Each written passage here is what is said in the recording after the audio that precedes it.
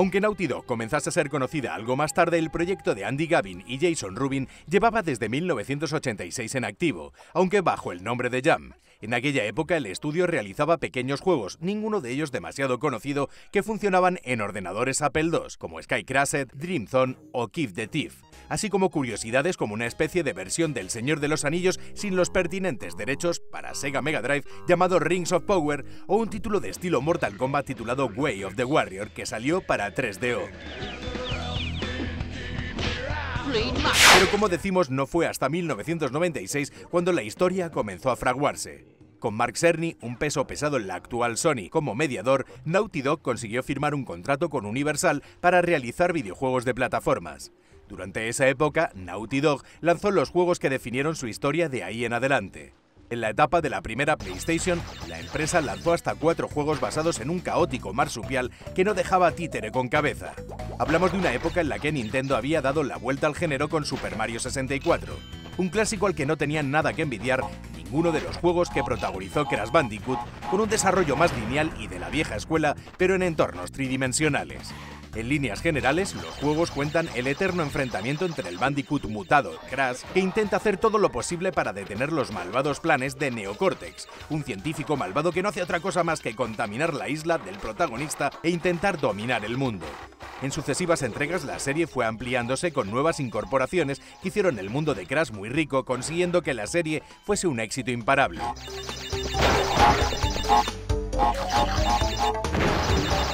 Embargo, a finales del siglo, Naughty Dog decidió dar carpetazo a la franquicia con un juego de carreras. Después de tres entregas ya había tenido suficiente historia con el marsupial que contar. Y consiguieron otro juego que podía hablar de tú a tú a otro grande de Nintendo, en este caso Super Mario Kart. Sin embargo, pese a la marcha de Naughty Dog, la saga continuó en manos de otros estudios, lo que, visto la no presencia de Crash hoy en día en el mercado, da a entender que gran parte del mérito del éxito de los juegos reside en el saber hacer del estudio californiano.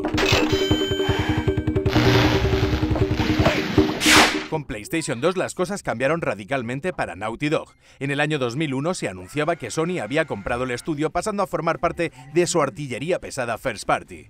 Una compra que amortizarían con una nueva licencia que daría otros cuatro juegos durante los años de la segunda consola de sobremesa de Sony. Nos referimos a Jack and Daxter, una serie que mostraba un juego algo más adulto y que comenzó como un plataformas más o menos puro, pero terminó siendo una aventura de acción. El estudio abandonó el toque cartoon de su antecesor mostrando una temática que pese a que no carecía de humor, casi siempre situado sobre los hombros de Daxter, podía pasar por algo más adulto, con más referentes al cómic que a los dibujos animados. The Epic Jack trilogy is coming to its dramatic conclusion. Um, before you were born, obviously. Yo le dije a Jack, acaba con ello. Muy a pesar de los millones de fans de la saga, esta acabó en 2005 con una entrega que una vez más tomaba las carreras alocadas como referente con Jack X Combat Racing.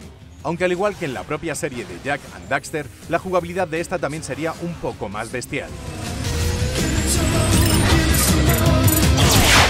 De nuevo un cambio de etapa, uno que Naughty Dog sabría sacar partido como nunca. En lugar de seguir con personajes animados decidieron aprovechar el potencial de PlayStation 3 contando algo con seres humanos, unos por cierto realmente realistas. En 2007 sale al mercado la primera de las cuatro entregas de Uncharted. La aventura de Nathan Drake buscando pistas sobre el paradero del tesoro de Sir Francis Drake marcaron un punto y aparte en lo que a calidad gráfica se refiere. Y aún así consiguieron que dicho listón cambiase los parámetros una vez más con cada una de las dos entregas posteriores. Cada uno de los tres Uncharted que salieron para la tercera consola de sobremesa de Sony dejaron muy claro hasta dónde se podía llegar en el apartado gráfico. Y por si no teníamos suficiente, también consiguieron ofrecer una nueva experiencia de juego para los usuarios. Y sin embargo todavía les quedaba algo que contar en esa generación. Y no, no sería un juego nuevo de carreras.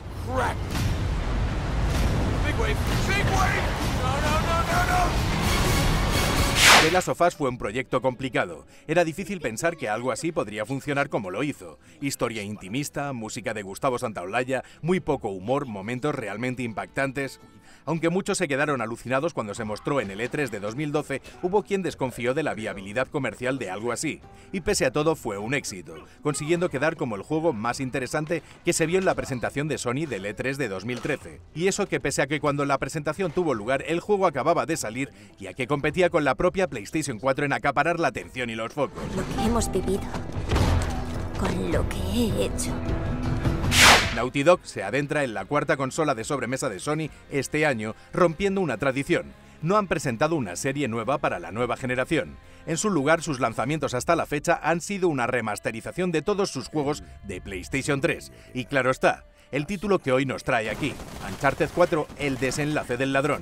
Un desarrollo complicado con fugas de cerebros y rescates épicos de por medio. El culmen del trabajo y el reconocimiento de una empresa y uno de los juegos más interesantes de toda una generación.